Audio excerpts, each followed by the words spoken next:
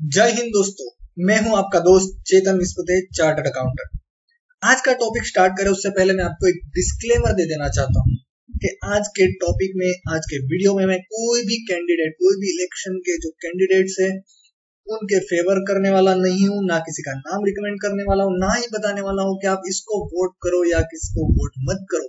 मैं सिर्फ़ आपके सामने सात रीजन लेके आया हूँ कि क्यों हमें अपकमिंग आईसीआई इलेक्शन में वोट करना चाहिए।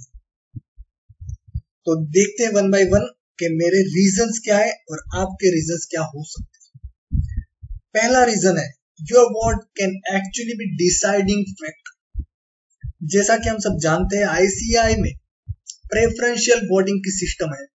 तो आप हर एक कैंडिडेट को वोट कर सकते हो अकॉर्डिंग टू योर प्रेफरेंस किसी को वन नंबर किसी को टू नंबर किसी को थ्री नंबर या तो जितने कैंडिडेट आप सभी को वोट कर सकते हैं।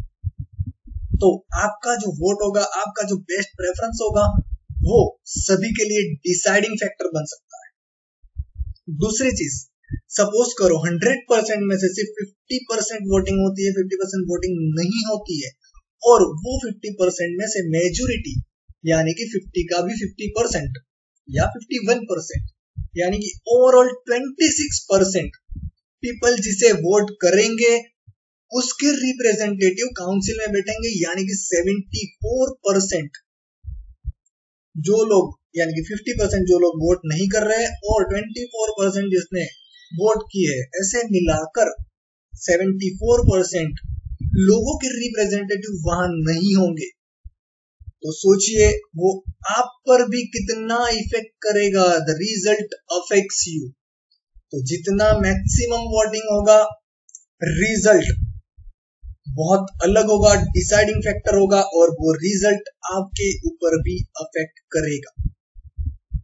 तीसरा रीजन है you have a better chance of being satisfied with the result अगर आपने जिसे वोट किया है, वो पर्सन काउंसिल में बैठे हैं तो आप भी खुद सेटिस्फाइड रहोगे, नहीं यार। जिसे मैंने वोट किया है, वो लोग ऊपर बैठे। चौथा रीजन है there are many interesting and new candidates इस बार काफ़ी इंटरेस्टिंग और नए कैंडिडेट्स भी हैं। अगर जितने भी कैंडिडेट्स है सेंट्रल काउंसिल के हो या रीजनल काउंसिल के हो, आपको अगर उनके बायोडेटा प्रोफ़ाइल देखनी है तो आप देख सकते हो आईसीआई की जो वेबसाइट है वहाँ पर आप अपना जो पोलिंग बूथ का जो एड्रेस देखोगे, वहाँ पर नीचे एक लिंक दी होगी, वहाँ पर जाकर आप सारे कैंडिडेट्स का बायोडेटा प्रोफ़ाइल देख सकते हो, उनके date of birth membership number कौन सी कंपनी में डायरेक्टर है, कौन सी फॉर्म में पार्टनर है प्रोपराइटर है स्टेटस क्या है, उनका रैंक क्या आया है अदर एकेडमिक क्वालिफिकेशंस क्या है, सब कुछ आपको वहाँ मिले तो काफ़ी सारे न्यू कैंडिडेट्स भी हैं और इंटरेस्टिंग कैंडिडेट्स भी है तो ये एक रीजन है। अगला रीजन है chain reaction increase voter turnout अगर आप वोट करते हो तो दूसरे मेंबर पर वो क्या इफ़ेक्ट करेगा? उसके दूसरे मेंबर पर वो दो इफ़ेक्ट कर सकता है। पहला उसे इनकरेज करेगा, या तो उसे गिल्ट महसूस करवाएगा। और दोनों ही केस में, दोनों ही केस में वो पर्सन वोट करने जाएगा। अगर वो एनकरेज होता है तो वो कहेगा, क्या बात करता है भाई? अगर तू वोट करके आया तो मैं भी वोट करके आऊँगा। एनकरेज होगा।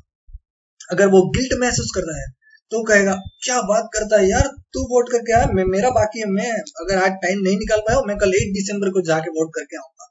तो दोनों केस में अगर आप वोट करते हो तो आपके आजू बाजू वाले या आपके जो सीए है आजू बाजू वाले मतलब घर में रहने वाले नहीं, जो सीए है आपका जो फ्रेंड सर्कल है, आपका जो कम्युनिटी है सीए की आपका सर्कल है ग्रुप है, वो सारे के सारे वोट करे, उसका चांस बढ़ जाएगा।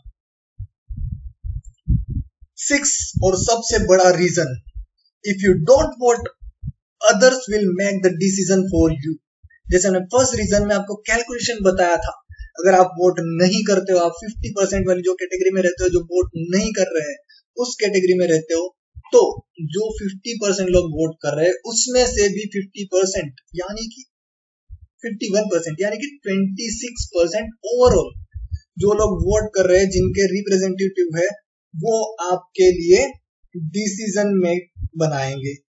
तो देखिए, बहुत बहुत ही डिफरेंस करेगा अगर आप वोट खुद करते हो। हो सकता है हंड्रेड परसेंट जो पर्सन काउंसिल में बैठेंगे, वो अलग हो सकते हैं, हो सकता है हंड्रेड परसेंट नहीं, लेकिन कुछ परसेंट का तो डिफरेंस हो सकता है, या तो मे भी पॉसिबल नहीं भी हो सकता है, लेकिन अगर आप वोट नहीं करते हो तो दूसरे लोग आपके लिए डिसीज़न बना के छोड़ देंगे कि भाई यही आपके और हम सबके रिप्रेजेंटेटिव रहने वाले हैं। Seven last but not Leeds it's kind of our duty अगर हम कोई चीज़ पर हक जमाना चाहते हैं या हक महसूस करते हैं। जैसे हम कहते हैं कि भाई हमारा हक है, हमारा रिप्रेजेंटेटिव को हम क्वेश्चन पूछे। तो सर, सिक्के की दो बाजू होती है। अगर आप कोई चीज़ पर हक जमाना चाहते हो तो दूसरी बाजू ये है कि हमारी, उसके प्रति कुछ ड्यूटी भी है। अगर हमारा हक है किसी को क्वेश्चन पूछना तो ये हमारी ड्यूटी भी है कि हम वोट करें। अगर वोट करना हमारा हक है तो ड्यूटी भी है, सर। तो सात दिसंबर के सात रीजन मैंने बताया, आठवां रीजन आपको खुद को ढूंढना है कि इसके अलावा आठवां रीजन क्या हो सकता है। आई होप दोस्तों आपको आज का मेरा वीडियो अच्छा लगा होगा। अगर अच्छा लगा तो प्लीज़ सबके साथ शेयर कीजिए। अगर आप चैनल को सब्सक्राइब नहीं किया तो सब्सक्राइब भी कर दीजिए। थैंक यू फॉर वॉचिंग दोस्तों। जय हिंद, जय भारत।